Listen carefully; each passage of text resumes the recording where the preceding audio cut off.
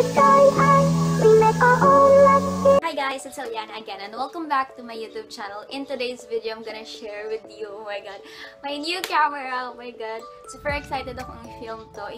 Possible nga lang na i-film ko to after ko umuwi last Monday. I-film ko talaga siya kaso may exam kami kinabukasan. So, hindi ko siya na-film that night. And then, kinabukasan nga exam nga kami. So, hindi na ako nakapag-film. So, today is Wednesday.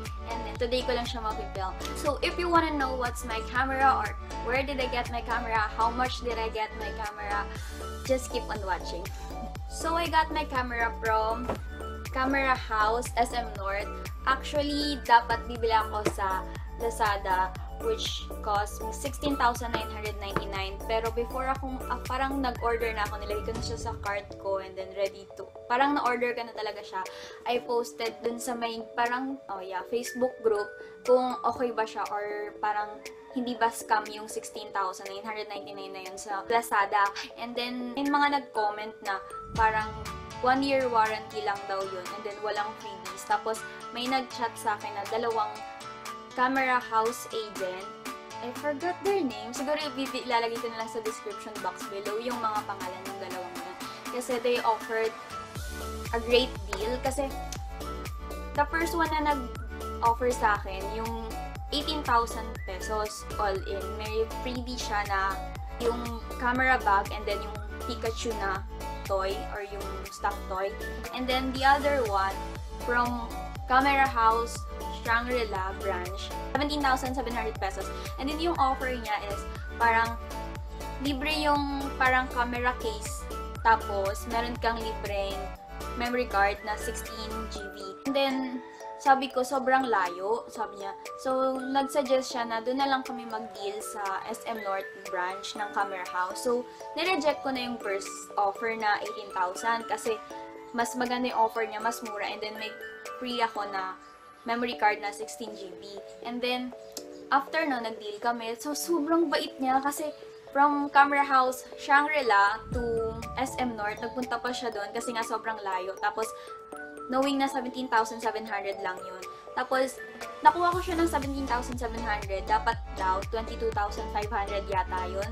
And then, parang, meron silang sale today or from March 1 to March 31, meron silang sale na yung camera nila parang 18,800. Pero, di ko alam kung paano nangyari na 17,700 lang. Kaya, super happy ako. Tapos, edi yun nga, nakipag-deal na ako sa kanya na 17,700. Tapos, sa isip ko, yung camera case na binibigay niya or yung freebies niya is parang polka dots. Tapos, hindi bagay din sa kulay ng camera na gusto ko. So, nag-request ako na pwede bang camera bag na lang. Tapos, umuo naman siya, okay lang siya ng okay, go lang siya ng go. Iwan ko, sobrang bait niya talaga. Tapos, sobrang bait niya kasi hindi lang yun yung nakuha ko. He gave me this Pikachu. Hindi, parang wala sa usapan namin na bibigyan niya ako ng Pikachu, pero binigyan niya ako ng Pikachu. The camera that I got is the Canon EOS M10. Wala na tong laman, because this is the bag na binigay niya. Siguro mag-insert na lang ako ng picture na dapat na ibibigay niya sa akin camera case. Pero ito yon may dalaw siyang zipper. This one, the smaller one, ay nilagay ko yung mga, ano, memory card na case and then yung sa battery. Kasi sabi niya, pag di daw ginagamit yung camera, tanggalin yung battery para daw, hindi ko, hindi ko matandaan, basta para daw di masira or para, ah, basta, pag iniwan mo yung battery, masisira yung camera mo. Yun yung naiintindihan ko. Tapos, ito na yung camera. Nilagay ko dito yung manual kasi bago pa nga, hindi ko alam yung gagawin ko. Sobrang litong-lito ko dito, sobra. And then, nilagay ko sa parang echo bag or echo pouch yung bat, yung charger, and then yung cord. And then, this is the camera. Ay, meron palang strap na kasama yun. And then, ayun nga, I got the black one. Tapos yung sa Lazada, dapat akong orderin ko white. Kasi yun yung nakasale na 16,999 pero 1 year warranty lang. So, I got this black na lang. Kasi parang meron naman silang white pero nag-ask ako sa mga sa ate ko and then sa friends ko kung ano magandang kulay. Black daw yung maganda, so hindi na madumi. Tapos may nakita akong post na yung camera niya, yung same unit, ganto. Yung ganto, parang nag-yellowish. Nagkaroon ng yellow. And then, ayun. Per, ano, parang ang gusto ko talaga yung Canon EOS 100 yung kay Catherine Bernardo. Oh my God, Catherine! And then, pero para kasi ang mas mahal siya, parang double the price, and then, mas complicated siyang gamitin, parang ganun, kasi mas marami yung dials niya dito.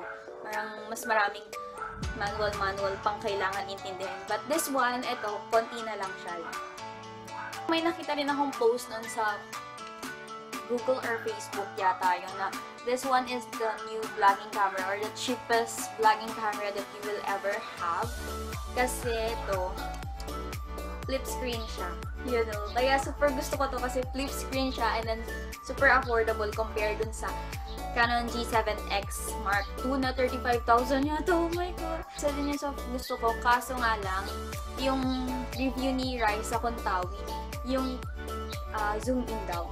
Ito kasi meron na siyang lens and then yung G7X parang digicam pa rin siya na nandito yung zoom in and zoom out. And then, ayun nga, meron lang siyang mga ano, dials dyan. And then, ayan. And then this one is touchscreen. Ayun. And by the way, this camera is sponsored by my Tito Carlo. And if you're watching this, thank you so much. thank you so much, Tito. I'm so happy. Sobrang, sobrang nababaliw ko dito kasi nung binigay na siya sa akin, nung parang nung inaano na siya, parang dinidemo na siya sa akin, hindi ako may kinig. Sobrang, sobrang happy, happy, happy ko na parang yung utak ko sobrang happy lang na hindi ko alam yung gagawin ko. Tapos lang dinidemo niya sa akin, nakatingin lang ako sa kanya pero wala akong naiintindihan. Basta super happy ko lang. And then tapos, nung nandun na ako, nung parang ako na yung gumagalaw sa kanya, sabi ko, shit, paano buksan to? Ang ginagawa ko pa, oh my god, nagura ako, sorry. Tapos, ang ginagawa ko, parang iniikot-ikot ko to. Tapos sabi ko, oh my god, sira yata. Hindi, hindi ko mabuksan. Tapos, binasa ko yung manual. Ang tanga-tanga ko lang talaga. Kailangan ko palang pindutin to. Ito. Yung maliit na bilog doon. Tapos, ilaw na siya. Tapos, ayan na yung camera. tapos, tapos yung naintindihan ko lang nung dinidemo siya sa akin ni Kuya, eto, pag, para ma-unlock daw yung lens, kailangan mong parang i-push to, tapos i-twist mo yung lens hanggang dun sa may 15. Para makita mo yung lens. And then, ito yung, ano niya. Kita nyo yung camera, yung setup ko. I'm using only my iPhone 5S for filming. So, eto na siya ngayon. Oh my goodness! sobrang naninibago pa ako sa kanya. Sobrang, pag na tinry kong mag-film dito, and then nakatingin ako dun sa my screen, hindi dun sa lens. Meron pala siyang feature na, may feature siya na wifi. So, if ever na magsasend ka ng picture, or magpo-post ka ng picture, sisend mo lang siya sa phone mo. And then, parang may remote control, magiging remote control yung cellphone mo. Basta magda-download ka ng app na camera Canon camera something. Basta ganon. Ilalagay ko na lang yung ano, yung doon sa description box below. Yeah, kaya ko to. So, sobrang excited talaga ako. Super na-happy ako ayun. Tapos, hindi ko na namin sasabihin ko. Pero, ang dami ko nang nakwento. Tapos, ayun nga, ang pagkakaiba lang nila ng G7X, parang yung G7X, super bilis siyang mag super bilis niyang mag-bilis, bilis. Bilis niyang mag-focus and this one, medyo matagal siya. Parang nung tinatry ko siya, parang mas matagal siyang mag-focus. Pero ang ganda ng quality niya, super swear. Sa choice ko rin yung Canon EOS 100 kasi meron siyang parang flash mount na pwedeng lagyan ng speaker. Hindi ko lang alam kung paano ko siya malalagyan ng speaker. Hindi ko, hindi ko pa na-try kung maganda yung audio quality nito. Pero hopefully, maganda siya. And then, ito, meron siyang feature dito yun na. Yung sinasabi ko kanina yung Wi-Fi feature niya ito. Pipindutin mo lang siya. Hindi ko ma-demo kasi nan- gamit ko yung camera ko. Pero, um, ay, gamit ko yung cellphone ko. Pero, soon I'll make a video siguro na kung paano ko siya kinoconnect. Kasi pwede kang mag-picture ng malayo. Tapos, di mo na kailangan i-click to or mag-timer, basta gamit mo yung phone mo. Pero ang alam ko, kasi tinry ko, hindi mo makikita yung sarili mo dito. Makikita mo siya sa cellphone screen mo. Ayan, I'm recording na. Oh my God, I'm so happy talaga. May vlogger, may vlogger na, may vlogger. Tapos, ang ganda ng quality niya compare dito. Siguro mas yung color, mm, yeah, mas mataas yung contrast. Parang kitang-kita na super red nung background ko. And then sa camera, or dun sa cellphone ko, parang medyo light. And then, medyo may nag... Merong something na parang yung sa TV, pag ano, nawawala ng signal, parang may gumagano lang sa likod ko. Ewan ko kung bakit. Siguro dahil dun sa lighting ko. Pero, super ganda niya. Super stable ng, ano niya. Siguro malikot lang talaga yung kamay ko. Ayan. And then, ayun nga. Dun pa rin ako sa screen nakatingin. Hindi ako nakatingin sa, sa lens. Kasi super, super na, ano, kung nabobother ako kung okay ba yung tsura ko dun or hindi. Kung okay ba yung angle ko or what. Pero, for now, I'm so happy talaga. Oh my God. So, if you guys wanna know kung kanino ko siya binili or sino yung contact person, Facebook lang yung mabibigay ko kasi hindi ko nakuha yung contact number niya. Pero, if you guys are interested, super bait talaga nun ni Kuya. Sobra. So, if you guys are interested, you can message him sa Facebook. If hindi naman siya siguro or active doon, siguro yung Camera House, Shangri-La na lang yung EPM nyo. Kasi sa kanya, hindi ko alam kung bakit magkaiba yung price nung dalawang agent na yon.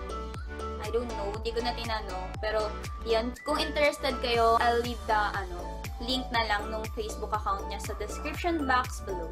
Ayan, dinry ko siyang ilagay dun sa lens uh, strap, like camera strap. Pero parang, ang hirap niyang gamitin pag ganyan.